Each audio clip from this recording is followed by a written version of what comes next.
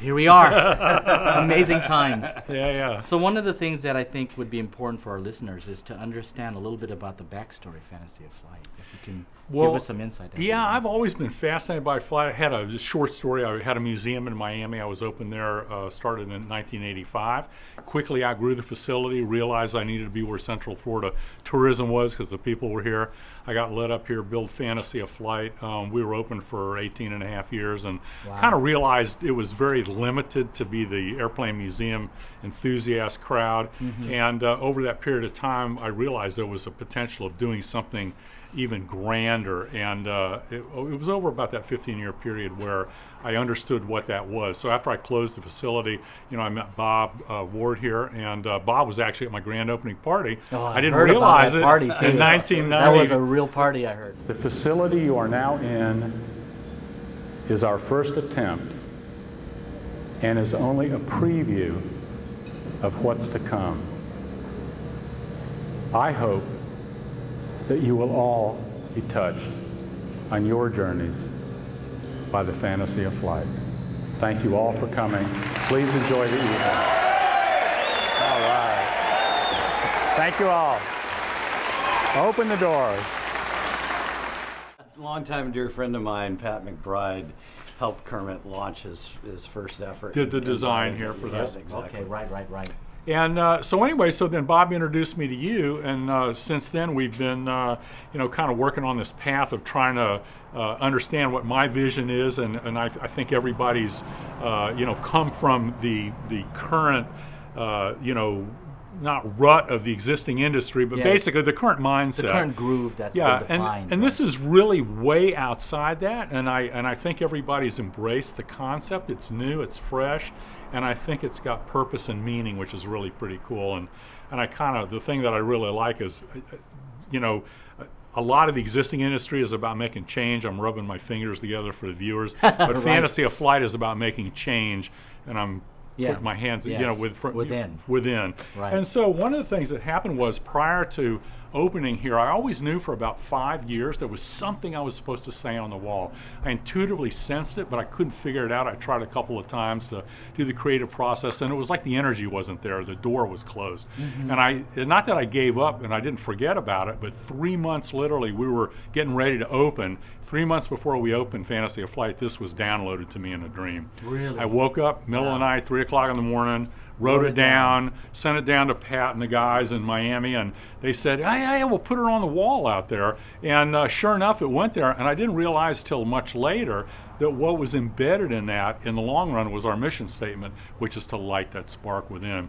And it took me a while to understand exactly what that was. There's a whole kind of a woo-woo metaphysical side to me. People know me for airplanes, but Yes. uh, I think that's the least they're going to remember me for.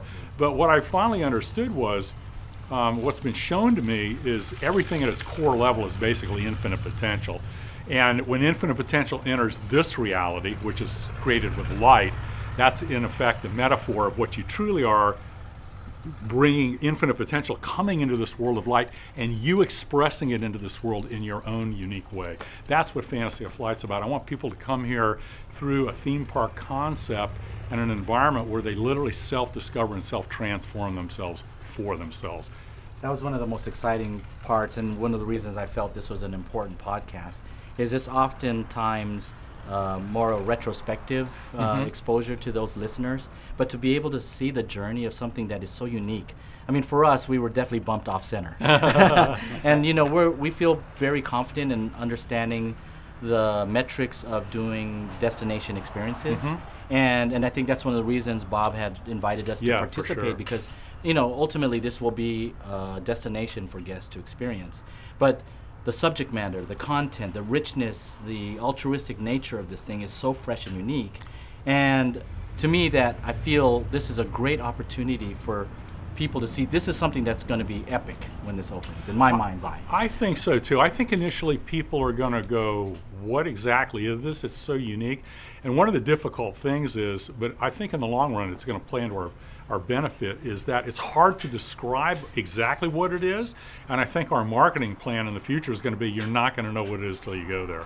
And then when you go there, you're going to go, oh my God, this is such a cool thing. And then you can't explain it to somebody, and you're going to say, you got to go there to understand what it is. And I feel like it's once it opens, it's going to be, oh my gosh, of course. Yeah, I agree. It's like breathing. This should have been here all this time. Yeah. you know, I mean, it's something that's hard to describe now because it hasn't been done yet. Yeah. But once it's done, it's going to be, of course, this Yeah. has to happen. This is should. This is how it should be.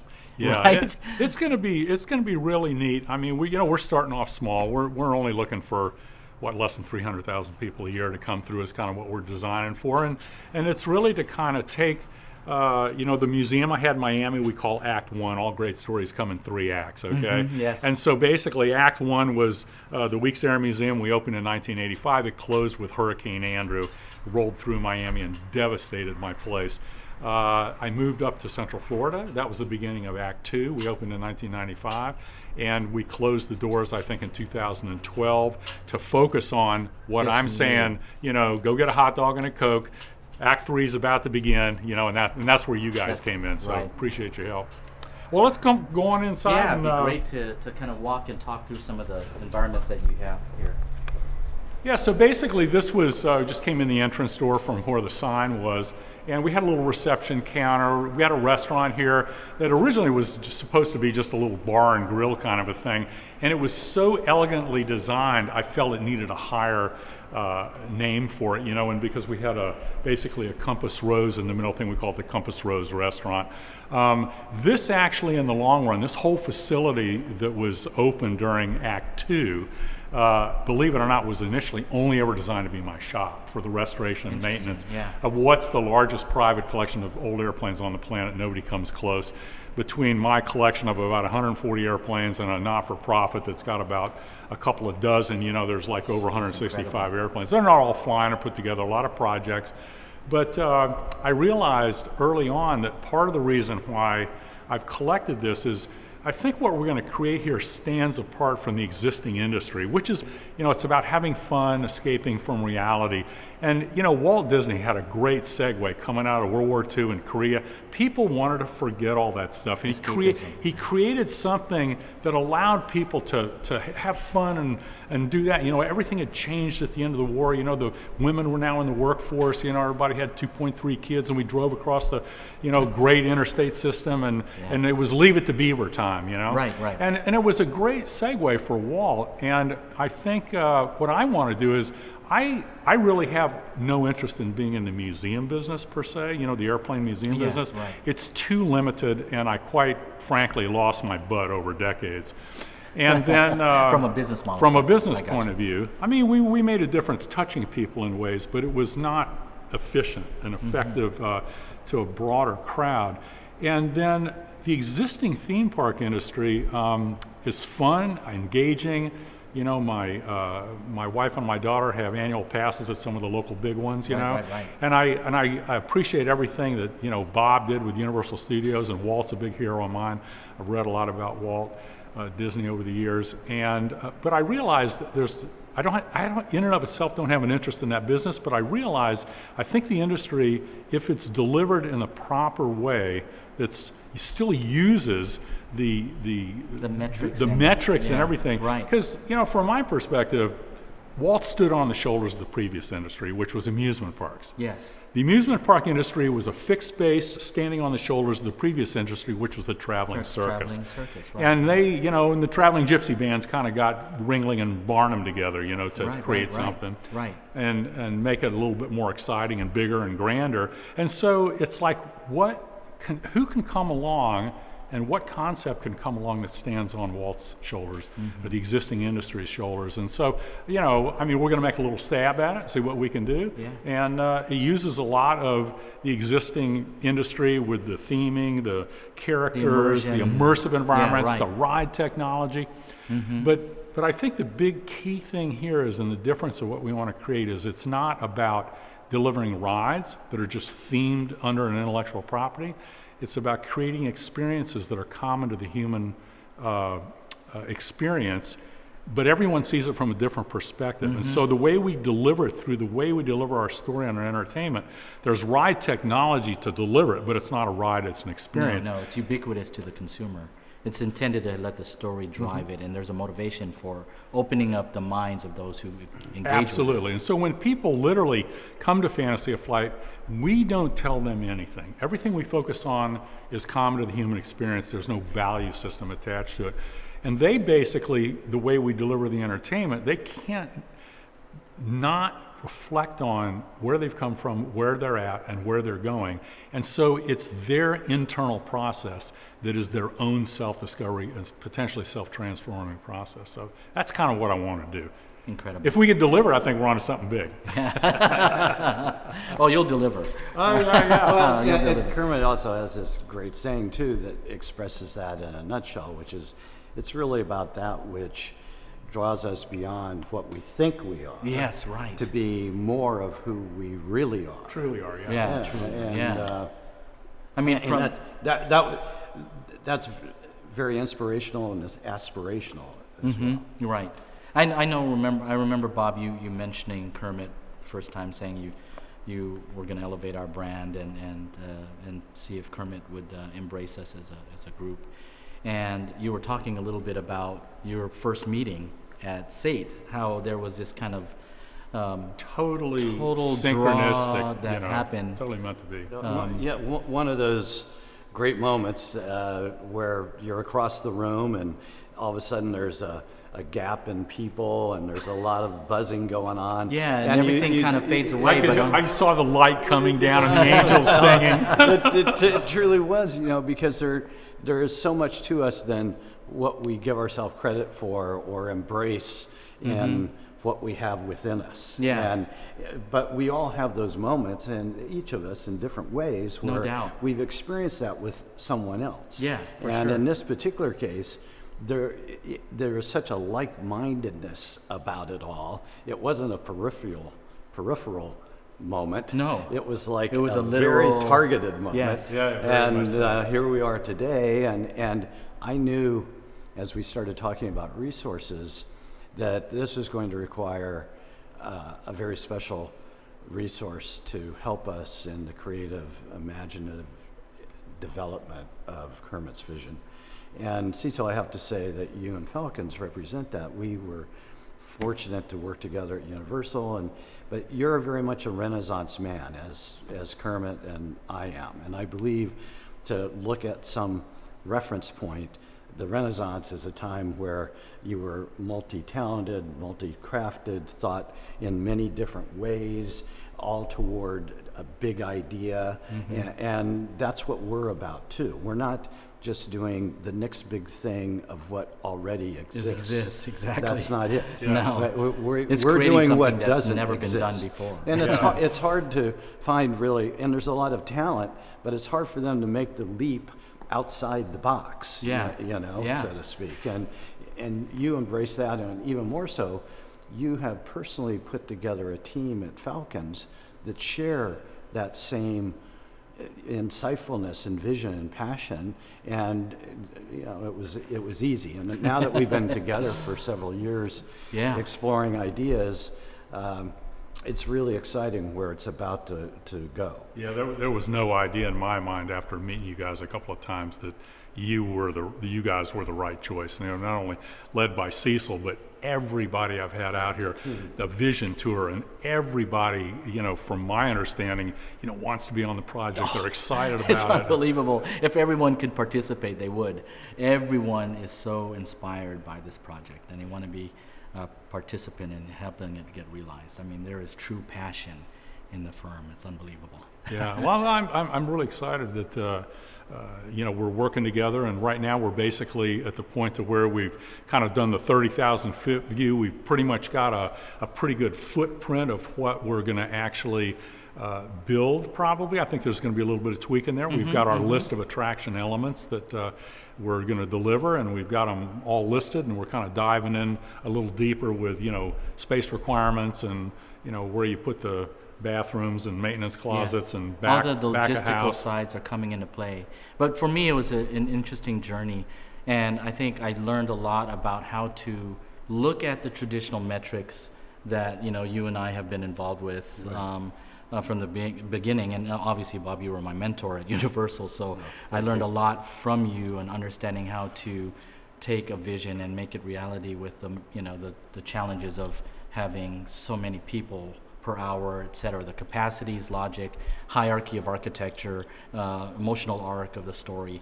So all those things are still relevant Yeah. here. But what's interesting to me is that I've, I've never looked at a program like this that is um, such a VVIP type of scenario where I have to constantly um, rethink my own mode of operandi when it comes to problem solving because I tend to um, fall back on some of the traditional metrics. Yeah. And so it's opened up and it's benefited not only Fantasy Flight but my own personal growth. Um, but to be able to look at this so uniquely in that way of how guests will engage with this, it is truly an experience that people will never have a queue line. I mean, just the thought of not having to entertain someone in a queue is a different shift of thought because it's going to be so perfectly synchronized to the capacity that everyone's going to have enough content to engage with that is queueless. I mean, Yeah. these are things that are like our listeners are going to go, "What? How? How are you going to? What? I don't understand Yeah. it." Because it's going to take a vision tour for all our listeners to understand the profound nature of how we're changing the Yeah. process a little bit And, here. and I think I, I think you know one of the things we're wor- worried about a little bit. I don't think it's going to be a problem, but it's like what's our, our clientele, you know? And it's kind of like the people that I mean, I was a seminar junkie for a long time, and I've done stuff with Chopra and Tony Robbins and you know Covey and stuff like that, Right, you know. And yeah. and I mean, you know, those people are serious about their journeys. They want to learn things. They want to expose themselves to things.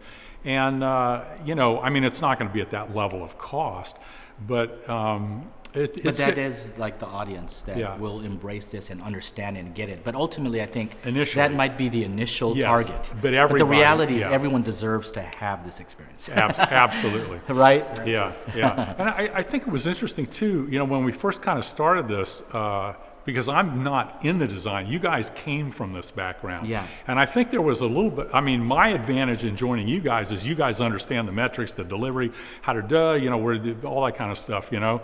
And I tend to be more of a, just a creative kind of guy. You guys are as well, but you understand the, the logistics of, ma- of Mm-hmm. pulling it off and actually not having it lose its butt, you know, which, Right. I, which I did in the last two rounds. Right, right. And so, uh, so in some ways, that was a benefit to me because I didn't have that baggage, so to speak, from the existing design paradigm. Right, right, right, And right. so I came and I said, well, what if we did this? And what if we did this? And what Yeah, if we did this? why can't this? we do this? Yeah, and so and so I came to this, and I and I remember early on, you all are looking at me like, wow, yeah, this and that, and it took a while, you know, to kind of, I'm not saying train you guys, but at least to get you to come around to Bump, my, us- bump, off, bump us off center. yeah, I mean, yeah, yeah, yeah, yeah. You had it. We had a groove, and and you know, obviously, we've been you know embraced because of our efficiency and logistics. Yeah. Right. So typically, our client base rewards us for you know getting to the brass tacks of effectiveness and efficiency, and and embraces that. But in reality, for this scenario, it would limit the vision. Right. Yeah, To to yeah. have those things in play. So it was a free flowing process, even within the process. Yes, exactly. Right? You know, one of the things I said very early on, and I, I think you both would support this at this point, is that, you know, we're trying to design something to get people, we're trying to bump people off center. In fact, I, I came up with a design mission. And, uh, and I, I, I And asked it's always in front of every everything deliverable we do, done. it has to go through that. we read it again every time we ideate. And, and, and I was at, uh, at one of the local 800 pound gorilla uh, parks here eating lunch with the guy that was running the design aspect, Mm-hmm. and they didn't have a design mission. I was very surprised. So, so anyway, so, so it's, it's a filter with which we run everything through. It was kind of given to me. There's kind of a woo-woo side to me, and I connect uh, with, I, let's just say, my friends at this point. And, uh, and it's interesting. I, I actually, um, I'm not going to go there at this point. That'll be another podcast. That'll be another series. Awesome. But uh, but basically, this is very very exciting. And where I was going with all that was, you know, I told everybody our purpose here is to create an opportunity. We're not here to change and save the world. But through what I think we're going to create, we're going to deliver the tools with which the world can change and save itself. Right. And so it's a completely that. different perspective. So we're only here to be Johnny Appleseed to throw seeds out on the ground. And if the ground's fertile and whichever seed each person picks up in their own way, they self discover themselves. And, you know, I explained we're here to bump people off center and have them see their Own perspective. And, right. and like what Bob said with kind of one of the definition of fantasy of flight, fantasy of flight's that which leads us beyond what we think we are to become more what we truly are. And what we truly are is infinite potential. We all have potential to go beyond ourselves.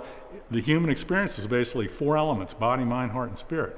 And at any point on anybody's journey, we each have an opportunity to go beyond ourselves in, in that aspect. I don't care if you're in a wheelchair, you're a quadriplegic, or whatever. Whatever, uh, and you know, even the fact physically I, I'm intact, you know, maybe mentally and spiritually and emotionally, I still have some things to work Yeah, on. You know, challenged, right.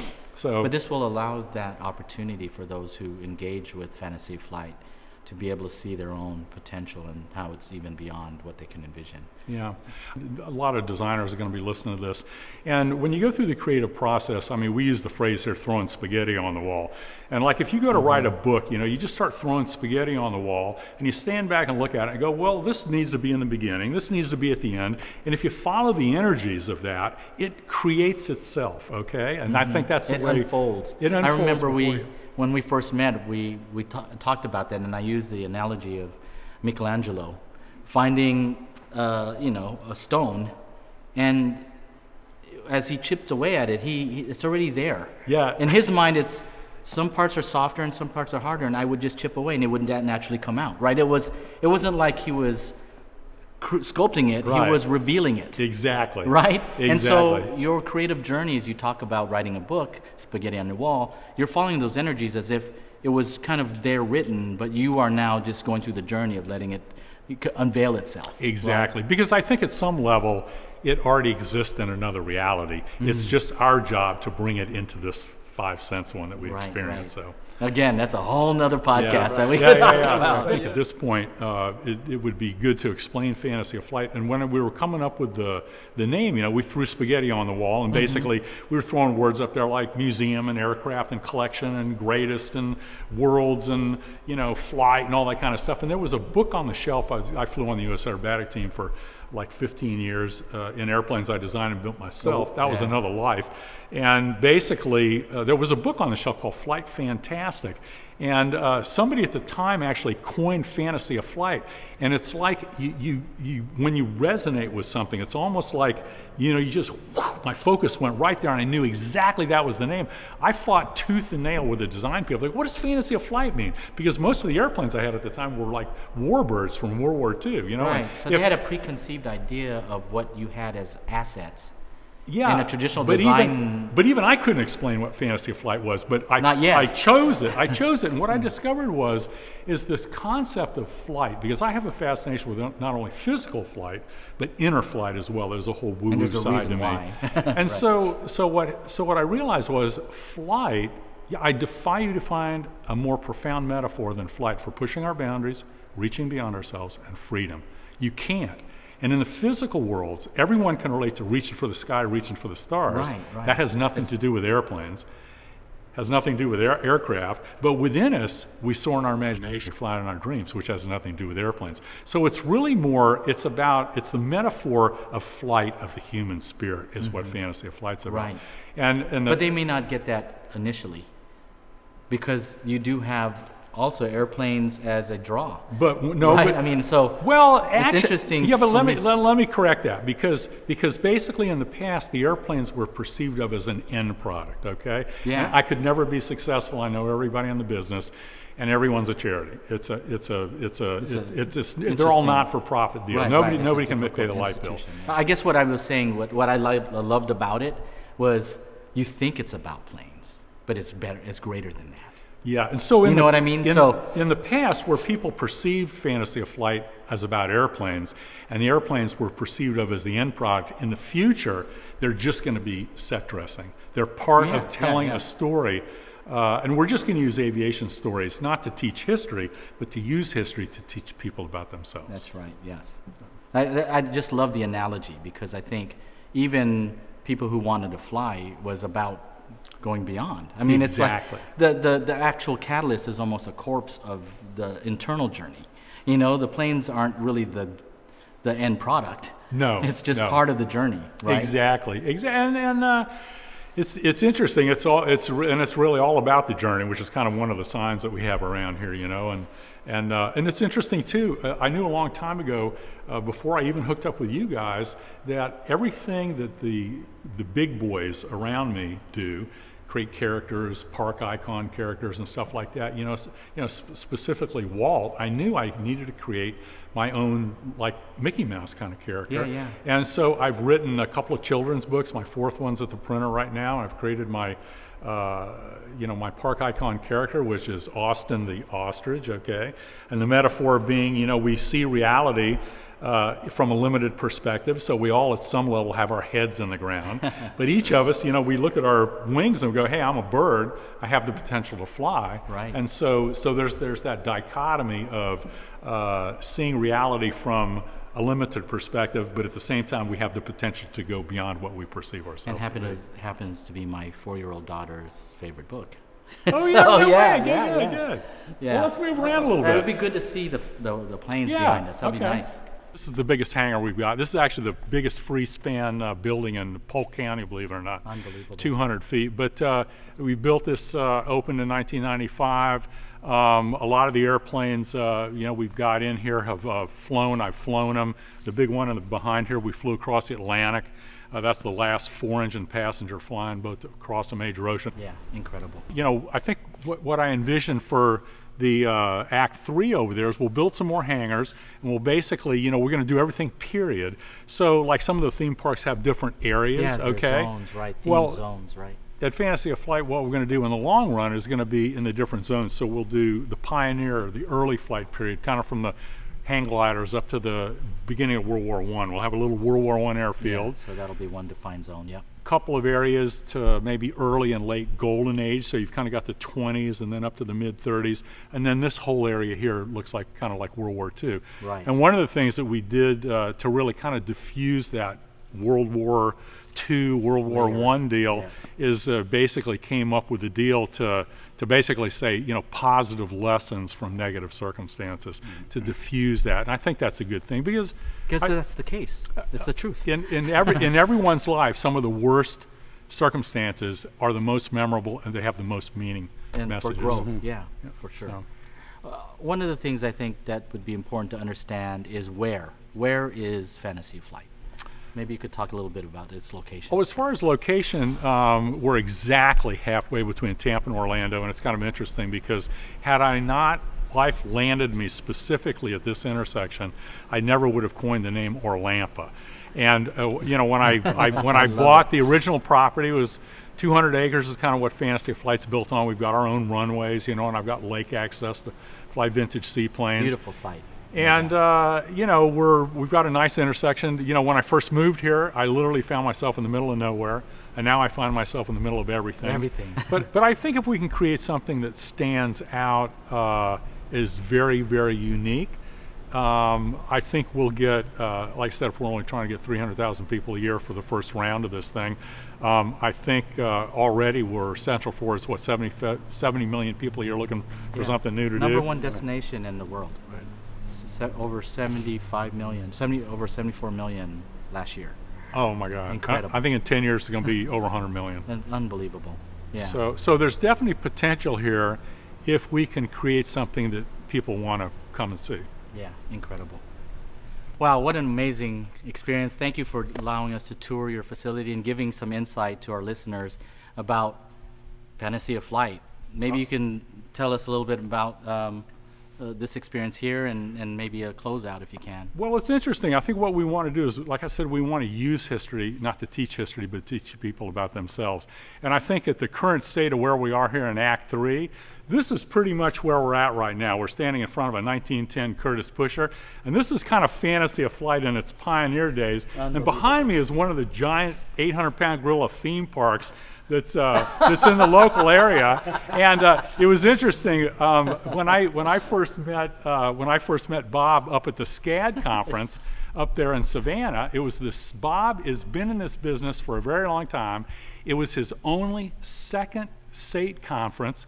It was my second SATE conference. We drove up there, we bumped into each other, and I'll never forget at the end of the deal, they were doing all the wind up at the thing and they were asking for questions. Yeah. And, and at the end of the deal, uh, you know, the theme of that conference was what's next. And I was the last guy to stand up, and I made it a point to stand up because I knew they were filming this. And I said, it's interesting, you know, all we've been talking about this whole conference here is what's next in the industry. My question is, what's the next industry? They deflected my question and they said, well, the kids out there, because the students at SCAD, Right, right. it was the It was first time about ever about the students who were there, and the that's why trust. Bob went there. Right. And so they deflected my question, and so at the end, I turned around. Bob was sitting up the other end. I walked up to him. I said, "Bob, are you ready to start the next industry?" And Bob said, Yes, go. yes. "Yeah." So anyway, with that, we'll leave. And thank you so much, Cecil, for coming Thanks, out. Kermit. Appreciate, Appreciate it. Yeah, yeah, yeah, yeah. Bob, appreciate it. Thank you, Bob. Thanks, Good Bob. deal. This is going to be great. It's going to be a It- lot of awesome. fun. You know, I, I got to add one last thing because oftentimes, you know, you're at a dinner party somewhere or whatever, and around the table you ask, so who's been the most inspirational person uh, in your life? And for me, it's Kermit. Oh, oh, thank you, Bob. Uh, because he truly has put me on a path of transformation that has enriched my life, um, has empowered me to believe in myself, Hmm. and it's so cool to play with him. No you doubt. know, I mean, a- and and so that's why I like to get my pals involved. yeah. I want to yeah. share the wealth. Of course. but all and of you've you, all of obviously you- inspired our whole studio. Yeah, all- well, every- and to grow. And, It's and, what I was, what I forgot to say early on, I never finished close the loop on that. Is basically in the process of of having other people self-discover themselves. In this design process, we're going to self-discover ourselves for ourselves. That's what's so cool, That's- Bob. You just perfectly described No, that. I, it, it is, and for all of you listening and watching, um, that's going to be your experience when you come to visit Fantasy of Flight. awesome. Thank you. Thanks, guys. Killer. That was awesome, man. Oh yeah, what a nice closure there. That's awesome.